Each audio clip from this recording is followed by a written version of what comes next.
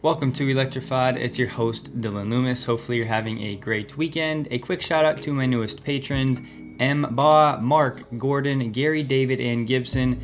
Greatly appreciate the support, and I should have a Patreon video uploaded later today. And before we get into today's episode, the title of this video is kind of posed as a question. We're going to get there momentarily, but just stay tuned. I genuinely want to hear where you guys stand on this. First up, some more frustrating political news. The clean energy program is likely to be dropped because of Manchin's objections. So, no, this decision isn't final, they are still negotiating, but the Clean Energy Performance Program, we'll refer to this as the CEPP, the linchpin of Biden's proposed climate change legislation, is likely to be dropped from the Democrats' spending bill because of opposition from one senator, Joe Manchin from West Virginia. So, this is a $150 billion program on the brink of being nixed completely because of, yes, really one person. Essentially, the CEPP would pay electric utility companies that switch from fossil fuel to renewable or clean energy sources and then fine those that don't. Gutting the clean energy component of the spending bill would mark a devastating blow for Biden's climate agenda just two weeks before he heads to a closely watched UN Global Climate Summit in Glasgow, Scotland,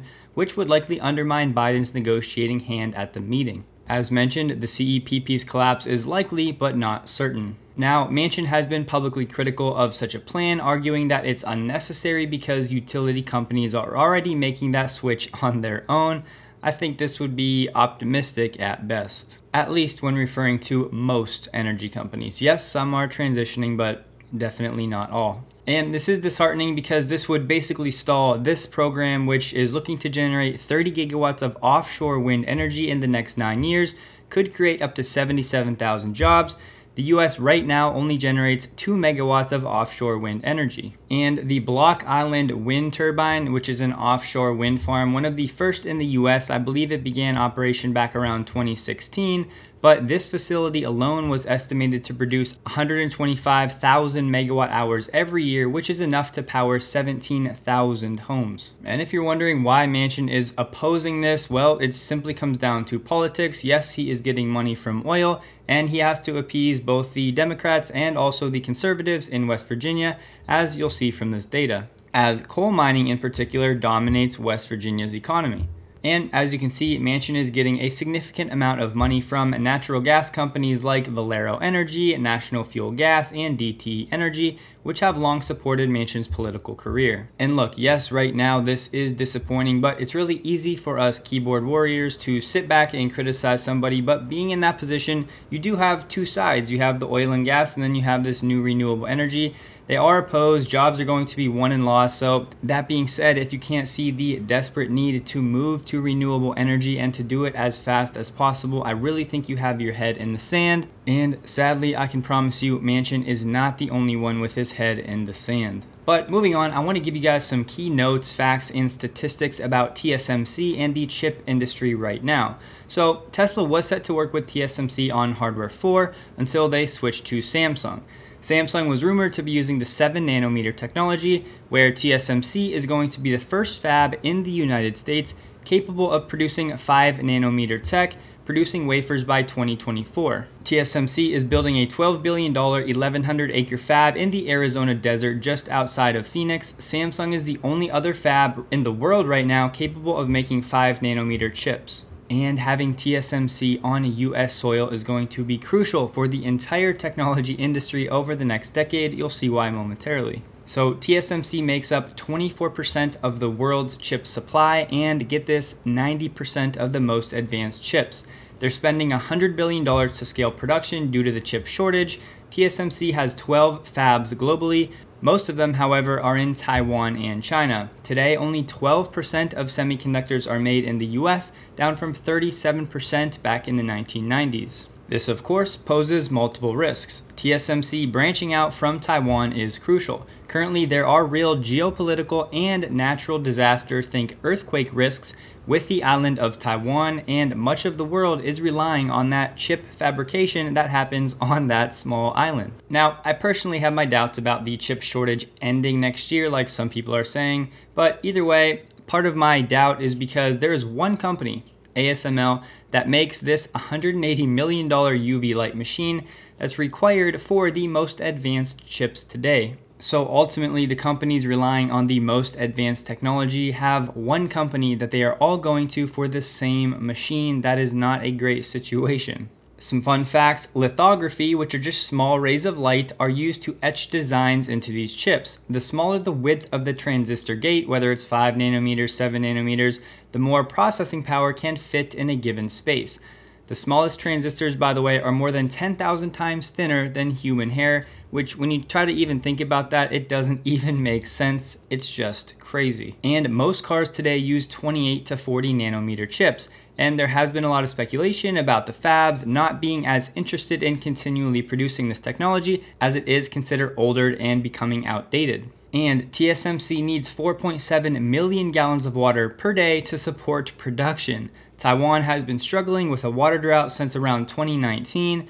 The good news here for this Arizona fab is that TSMC's new plant will recycle 90% of water used at the fab. So I'm sharing this because anybody that likes technology, phones, computers, laptops, cars, anything and everything uses semiconductors, we need to stay up and aware of what's going on in this industry. Okay, so getting to the title of the video, is Tesla's demand becoming a problem? What am I talking about? Well, if we go to the Tesla order page, the Model 3, first thing you see, delivery May. Okay, we've known delivery times have been long, but if you go down and choose the Aero wheels for the standard range Model 3, we are now getting into an estimated delivery date of August 2022 we're quickly approaching a one year delay for Tesla's most affordable vehicle. Now, yes, overall, this is still a very good thing, but I can promise you, Tesla is absolutely going to lose sales because people have to wait so long for their vehicle. And I've said before on the channel, I had a friend not buy a Tesla because he couldn't wait even one month for a car. And look, I'm not trying to say that this small faction of people that won't buy a Tesla because of the wait times,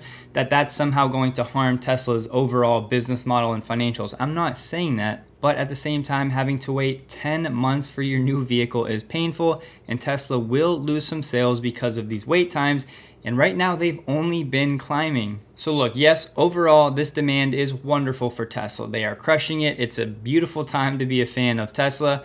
I'm just saying, let's not forget, Tesla needs to do everything it can to keep up with production to try to keep these wait times as low as possible or else they will miss out on sales. Another quick note, there's some news circulating that Tesla is no longer offering wood trim on the Model S Plaid. But on my configurator right now, at least, we still have the walnut decor. As you can see, it does not say carbon fiber. Some other people are seeing carbon fiber only, so we'll see what happens with that. Next up, Tesla is also hiring a mechanical design engineer for the semi-truck battery. So yes, they have some prototypes built out in the wild doing testing, but they are clearly still refining, changing, and working on the final iteration of the semi-truck. Next up, won't spend much time here, but in case you missed it, Elon did actually do a video video call with some of the top management at Volkswagen. Herbert Diess had Elon on to basically give them a kick in the butt to encourage Volkswagen's top leadership to move to this EV transition as fast and hopefully as efficient as possible. So I love to see this relationship between Diess and Elon working together, being pretty friendly. I really wish there was more of that in the transition to electrification. Also, over the weekend, Tesla finally started deliveries of the Model X Plaid. Here you see a quick walkthrough video from Pierce Chuang on YouTube. Now, nothing really revolutionary here, but the video is linked below if you want to check it out, and some anecdotal evidence. So people are asking, is it the Plaid or just the long range? Seemingly, it's all long range Model X's thus far. Plaid is apparently waiting regulatory approvals, and these are all rumored to be six seaters, so the five and seven seat variants are not yet available. People that had one of those configurations were being emailed saying if they move to six seats, they can get their delivery sooner. So it looks like for now, Tesla is only focused on the six seat long range Model X for delivery, perhaps through the rest of this year. And just earlier today, Tesla on Twitter shared some new pictures of the first Model X refreshed long range six seat vehicles. And they also shared a 5 minute explainer video of the Model X, linked below if you want to check it out. Moving to Twitter, Elon asked, Do you ever think SpaceX could have an open house at its facilities in Cali, Brownsville, and Florida? It would be a great way to get the community excited about what you guys do. Great idea, but Elon said we can only do it partially. Detailed rocket technology is considered advanced weaponry, same tech as nuclear missiles. So there are more limitations than at Tesla. And anything Tesla on Twitter asked Elon, when can we expect the single stack? Will it be V11? Elon said, yeah. So not a ton of detail, no information on when V11 will come. This was talked about last holiday season. Maybe we all got it wrong thinking it was going to be 2020 and it'll ultimately be 2021, but we'll have to see how many iterations in the 10 dot series Tesla decides to do before moving to V11. Matt Wallace said Elon Musk is now richer than Bill Gates and Warren Buffett combined, and Elon replied, hopefully enough to extend life to Mars. So more between Elon and Warren, and check out this return right here by Warren Buffett. Pretty nice, you know, spin shot there although he did have it then slammed in his face.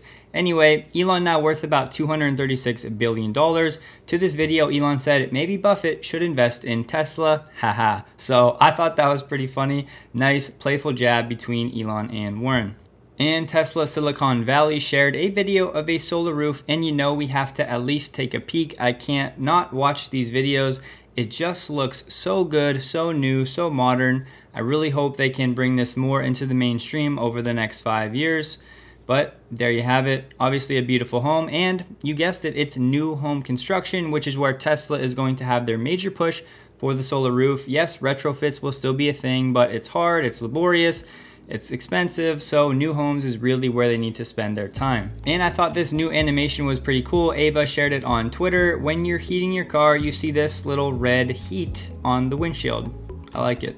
And to send you guys off today, I want to share some pretty impressive clips from AI DRIVR who does a great job. Definitely subscribe to his channel if you're interested in the FSD beta. So enjoy those clips. Please like the video if you did. Hope you all have a wonderful day and a huge thank you to all of my Patreon supporters.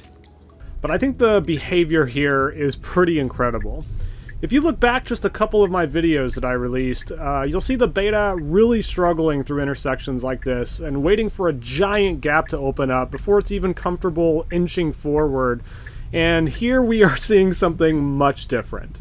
Autopilot is slowly creeping forward here, almost the entire time, looking for a gap in traffic big enough to make this right-hand turn. Uh, this is very human-like, as you can see by the other cars around us doing the same thing, and is another pretty good example of path prediction for the other vehicles. Seemed like it wanted to go there for a second, but changed its mind, uh, pulling out in front of the van who was making a right-hand turn and getting us through here very nicely indeed. Now, don't get me wrong, there were definitely a few times there was probably a big enough gap for us to fit into that I would have gone for if I was the one driving, but combining safety with aggression must be an extremely hard thing for the beta to learn how to do with other humans on the road.